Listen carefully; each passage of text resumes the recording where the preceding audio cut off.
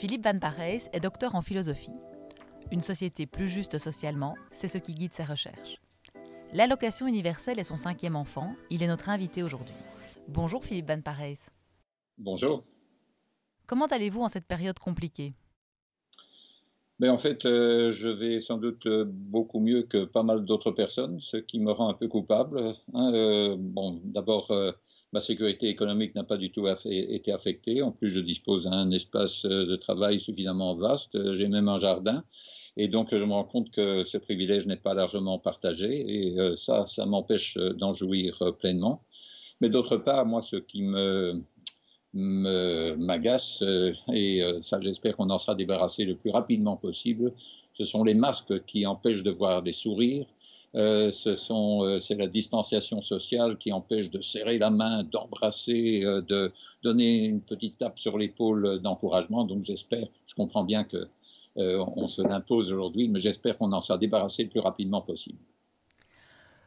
Pour le philosophe que vous êtes, la situation actuelle doit être stimulante au niveau des réflexions et des idées. Est-ce qu'il y en a une en particulier que vous souhaiteriez nous partager dans le domaine du monde du travail? Ben, Moi, j'ai été euh, frappé, comme beaucoup d'autres, par la prolifération du télétravail. Euh, donc, aujourd'hui, on télé-réunionne, on télé-enseigne, euh, on est même maintenant amené à télé-examiner, donc faire des examiner. Donc tout ça, c'est une nouvelle expérience. Donc je suis personnellement convaincu que lorsque finalement le, on aura complètement déconfiné, que le degré de recours au télétravail sera moindre qu'aujourd'hui, mais il ne redescendra jamais aussi bas qu'il ne l'était avant le début de la crise.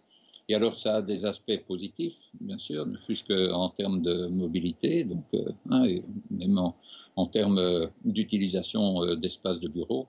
Mais ça a aussi pour moi, et c'est ça la considération un peu plus philosophique à ce propos-là, ça a aussi pour moi un grand désavantage, c'est que ça réduit la possibilité pour une communauté de travail d'être aussi une communauté de vie une communauté de personnes qui se connaissent d'une manière euh, proche, qui, donc une communauté où, par, on parvient à créer des formes de connivence, des formes de, de, solidarité qui vont au-delà des pures relations de travail. Pour moi, y compris entre des personnes qui sont très différentes et qui sont simplement là parce qu'elles font euh, le même boulot, travaillent dans la même entreprise. Et ça, pour moi, l'amenuisement de cette dimension de la communauté de travail, communauté de vie, c'est certainement une perte.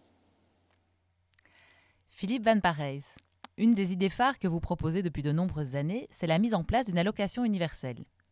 En quoi pourrait-elle constituer une réponse à la situation actuelle et une opportunité pour le monde du travail et pour les travailleurs freelance? Ben, euh, bon, comme vous l'avez remarqué aussi, euh, la popularité de l'idée ou la prise de conscience de l'idée d'allocation universelle a atteint un, nouveau sommet avec cette crise. Donc, euh, il y a d'une part euh, pas mal de gens qui euh, proposent une allocation universelle comme ce qui est parfois appelé un emergency universal basic income, c'est l'idée de dire bah il faut que tout le monde puisse survivre pendant la durée du confinement et la manière la plus simple, la plus directe, la plus sûre d'assurer la survie pour tout le monde, c'est de distribuer à tout le monde sans devoir, sans bureaucratie, sans devoir vérifier des conditions, distribuer à tout le monde un revenu suffisant pour pouvoir survivre, fût-ce modestement, pendant cette période. Il y a aussi d'autres personnes, parfois aussi les mêmes, qui proposent euh, une allocation universelle pour d'autres raisons, aussi de manière temporaire, mais qui, euh, qui s'applique à ce moment-là à la sortie de la crise. Au moment où on se dit, bon, maintenant il faut relancer l'économie. Pour relancer l'économie, eh bien, il faut augmenter le pouvoir d'achat. Et la manière la plus simple de le faire, ben, c'est simplement de pomper plus d'argent nouvellement créé, donc la Banque centrale qui crée de l'argent et qui distribue ça à chaque citoyen. C'est ce qu'on appelle là parfois le quantitative easing for the people. Quantitative easing, c'est euh, toute forme de création monétaire qui passe habituellement par les prêts euh, concédés par les banques privées. Et donc, euh, quantitative easing for the people, c'est quand cette création monétaire, ben, elle prend la forme d'une distribution directe d'argent. Mais dans les deux cas, bien sûr, ce sont, c'est conçu comme étant temporaire. Dans le premier cas, on s'endette pour pouvoir le faire. Dans le second cas, on crée, euh, on crée de l'inflation. Et ça, ça va, mais ça ne peut pas durer euh, trop longtemps. Mais surtout, surtout, ce dont on s'est rendu compte, et c'est ça qui qui crée une nouvelle impulsion à la défense de l'allocation universelle, c'est qu'au fond, on aurait été bien mieux équipé pour faire face à un choc comme celui-là s'il y, y, avait eu déjà au préalable ce socle, inconditionnel sur lequel chacun peut s'appuyer. Particulièrement important, bien sûr, pour les travailleurs les plus précaires. Alors, ça ne veut pas dire s'il y avait eu ce, hein, revenu inconditionnel hein, qui, est distribué chaque mois à chacun sans condition. S'il y avait eu ça, ça ne veut pas dire que d'autres mesures n'auraient pas été nécessaires. Donc, pour survivre pendant la période euh, du, confinement, ben, euh, hein, on, aurait eu besoin aussi d'allocations de chômage temporaire, hein, de, mesures particulières et à court terme pour, pour les travailleurs indépendants. Mais on aurait pu le faire sur la base de ce socle euh, solide sur lequel chacun pouvait compter. De même, au moment de la sortie de crise, ben, on aurait besoin euh, d'un petit coup supplémentaire. Ben, il suffisait à ce moment-là, si, le tuyau était déjà en place, d'en augmenter euh, le débit.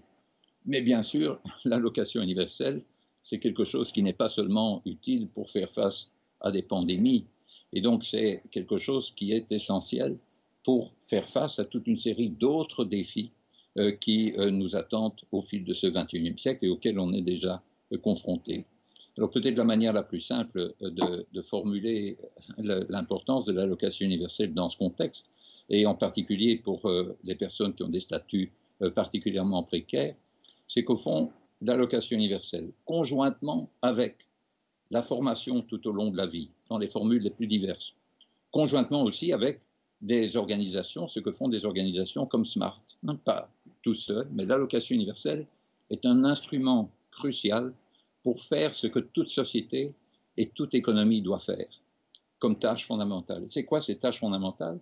C'est parvenir à fournir à chacun une tâche, une occupation, une activité que cette personne aime faire, que cette personne fait bien, et souvent ces deux choses vont ensemble. Une activité qui ait du sens pour cette personne et qui soit en même temps utile pour bien d'autres que cette personne qui soit utile à la société. Et ça aussi, ce sont deux choses qui vont souvent ensemble. Et donc, ce que permet ce socle, c'est, grâce à un va-et-vient tout au long de l'existence beaucoup plus fluide entre l'emploi, la formation et les activités bénévoles au sein du ménage, mais au-delà, ce que permet cette allocation universelle, c'est justement d'aider chacun à trouver ce qui correspond à sa vocation, ce qui correspond à ce que cette personne aime faire vraiment.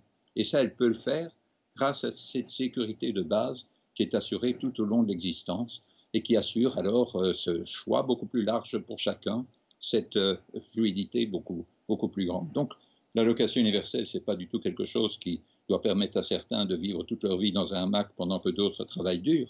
C'est quelque chose qui doit permettre à chacun de, trouve, de trouver vraiment euh, une tâche, une activité qui lui permet de contribuer à un meilleur fonctionnement de notre société et en particulier de notre économie. Et de cela, on en aura besoin pour sortir de la crise et on en aura besoin bien au-delà de la sortie de la crise. En tout cas, la question a de beaux jours devant elle, on s'en rend compte. Merci beaucoup pour ce partage d'opinion. Portez-vous bien. Merci à vous. Vous aussi, portez-vous bien. Et pas trop longtemps avec un masque.